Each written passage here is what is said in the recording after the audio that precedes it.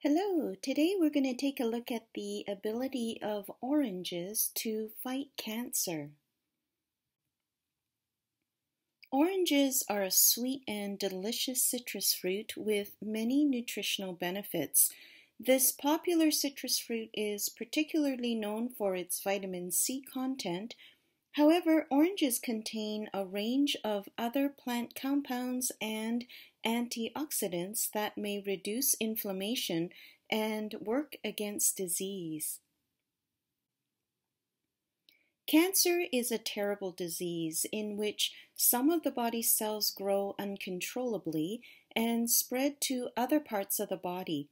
It's a complex process, and certain compounds in our foods can inhibit this uncontrollable growth or even kill the cancer cells. Vitamin C is a powerful antioxidant. In lab studies, it protects cells' DNA by trapping free radicals, and it helps renew the antioxidant ability of vitamin E.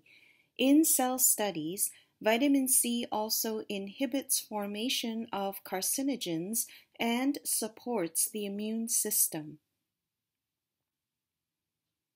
In a 2020 study published in the journal Experimental Biology and Medicine, experts found that hesperidin, a flavanone found in oranges, has antioxidant and anti inflammatory properties against cancer. It can inhibit tumor cell metastasis and angiogenesis. Additionally, Hesperidin can also reverse drug resistance of cancer cells, which make it a promising candidate to be used in combination with existing anti-cancer drugs. Flavanones in oranges inhibit cancer cells' growth and ability to spread. It also activates signaling that leads to self-destruction of abnormal cells, in laboratory studies, flavanones dial down the expression of oncogenes, genes that have potential to cause increased cell growth that can lead to cancer, and flavanones increase expression of tumor suppression genes. In a large population study published in 2018 in the International Journal of Cancer, Researchers found an inverse association between citrus fruit intake and gastric cancer.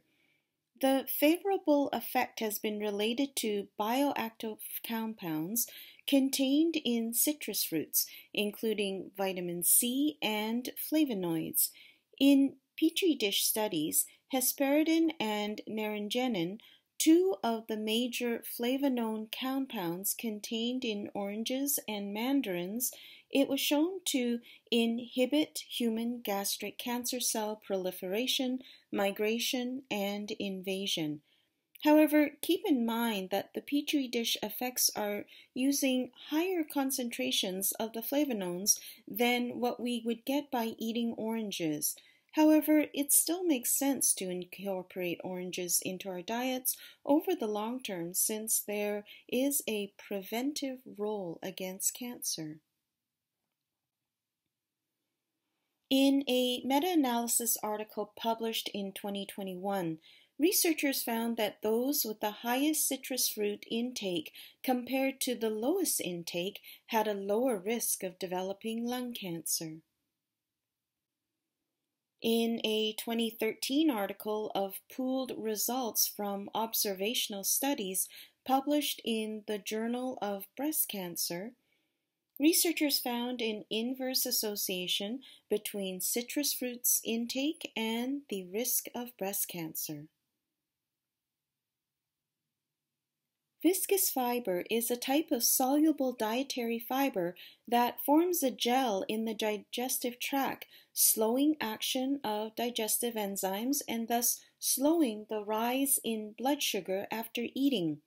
By helping to reduce insulin resistance and elevated levels of insulin, this could potentially help reduce cancer risk.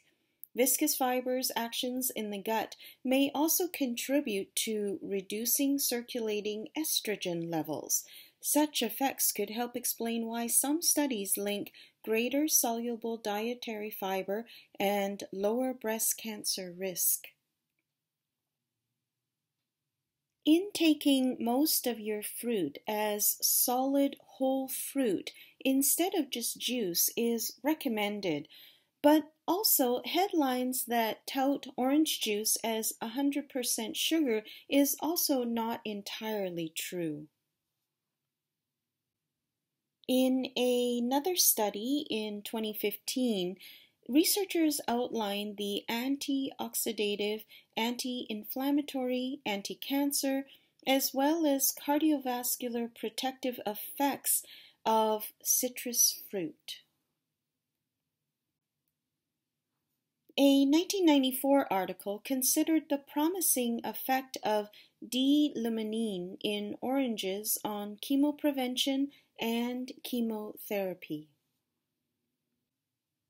A 2018 article showed the ability of D-limonene to inhibit the growth of lung cancer cells and suppress the growth of transplanted tumors in mice.